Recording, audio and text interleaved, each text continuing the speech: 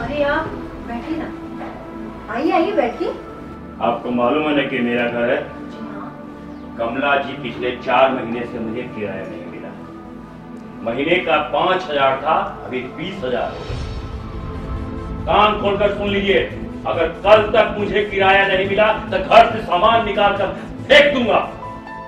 अरे ठाकुर साहब आप तो जानते हैं ना मैं जवान लड़की लेके कहाँ बाहर घूमूँगी? आपकी जवान बहन का मैं ठेका आपको समझ में आना चाहिए कि हवेली बनाने में कितने पैसे लगे थे। सर, अंकल, मैं कह रही थी ना कि मेरा बस जॉब लगने वाला है, फिर हम लोग सारा किराया आपको दे देंगे।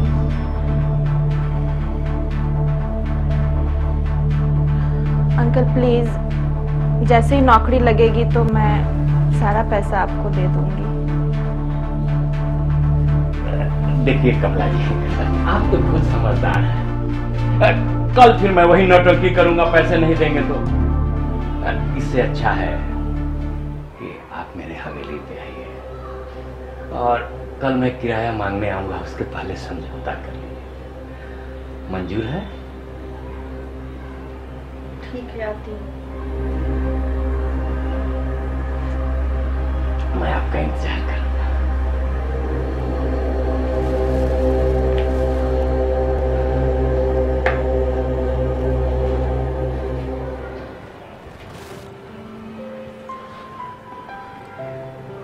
क्या करें दीदी? करेंगे क्या? देखते हैं क्या कर सकते हैं। तू टेंशन ना ले। मैं कुछ करती हूँ।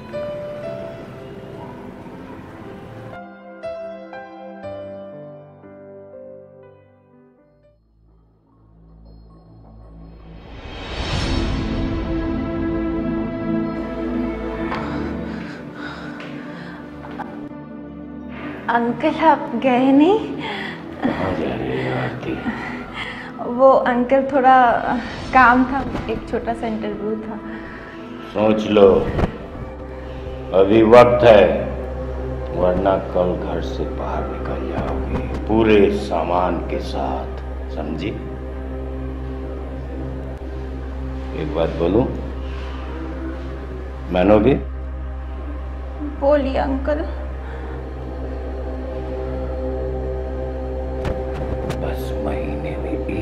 बार मेरे रूम पे आ जाओ। मेरा था। तुम्हारा भी काम हो जाएगा। मेरा भी काम हो जाएगा, आरती रानी। देखा। कोई नहीं जानेगा। मैं किसी से कुछ नहीं कहूँगा। नहीं तो मैं तुझे सड़क पे फेंक दूँगा। कुत्ते बोटी बोटी नोच खा जाएँगे। समझे? बस तू मेरी बात मान ले। इतना ही नहीं, मैं तुझे और दो चार लाख रुपया भिजवा दूँगा। ऐश करोगी, ऐश। रानी की तरह रहोगी। ना, मैं किसी से नहीं कहूँगा। समझे? आना।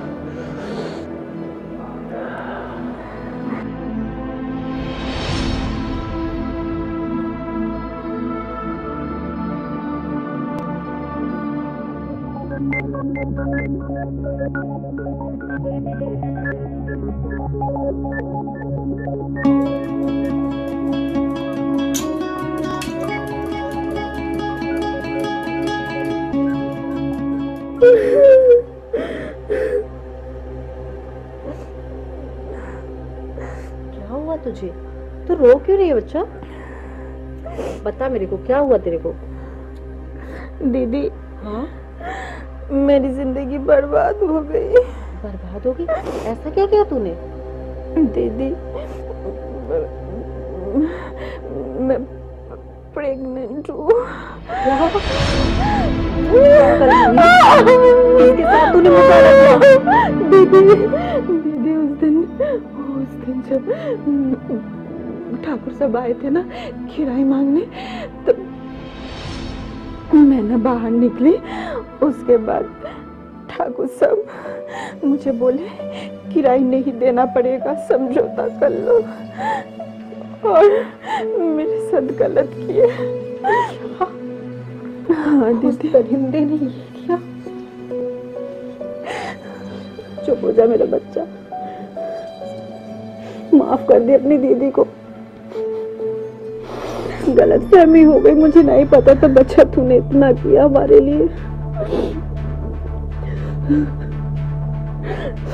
दीदी मैं ऐसा नहीं करती तो हम लोग कहाँ रहते थे बताओ? वो हम लोग को निकाल देता ना घर से। बच्चा मैं समझ रही हूँ।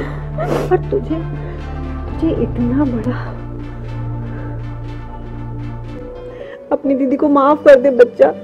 नहीं दीदी। तेरे लिए मैं कुछ नहीं कर पाई। आज हमारे मम्मा पापा होते। तो ऐसा हम दोनों के साथ कभी नहीं होता। पर तू चिंता मत कर बच्चा। उसने तेरे साथ ऐसा किया है ना, उसे तो मैं छोड़ूँगी नहीं।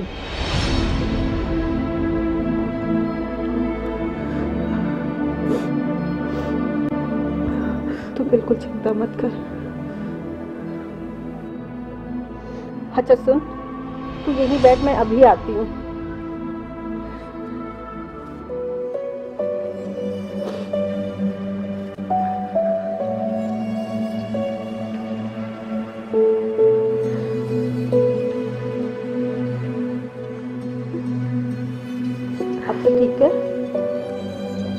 हो दीदी आप कहाँ गई थी?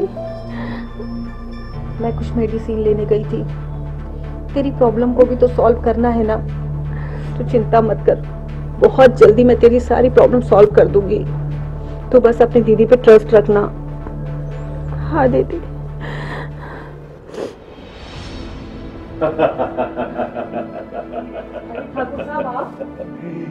कमला रानी मैं जा रहा हूँ दिल्ली।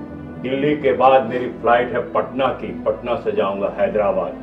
सब हवेलियों का किराया करीब सात लाख रुपए है।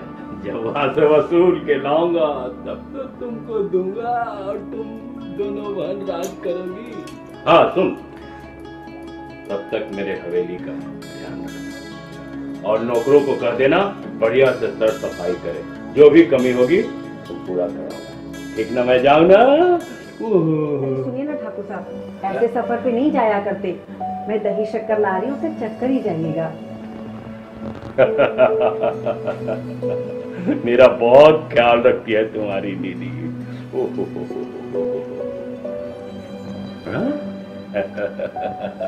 ये लीजिए ठाकुर साहब। वाह तुम अपनी प्यारी प्यारी हाथों से खिला रही हो ना ये तो बहुत मीठा हो जाएगा।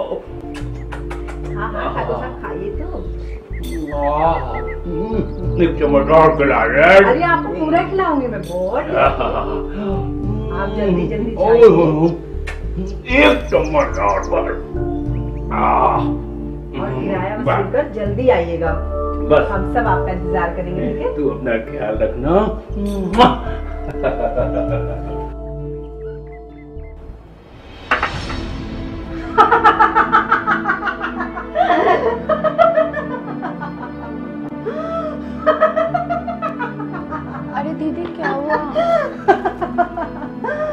बताती हूँ छोटी बताती हूँ। तुझे पता है, इसको मैंने दही क्यों खिलाया? क्योंकि मेरे अंदर जो भी जहर भरा हुआ था ना, आज मैंने वो जहर उस ठाकुर के मुँह में उगल दिया।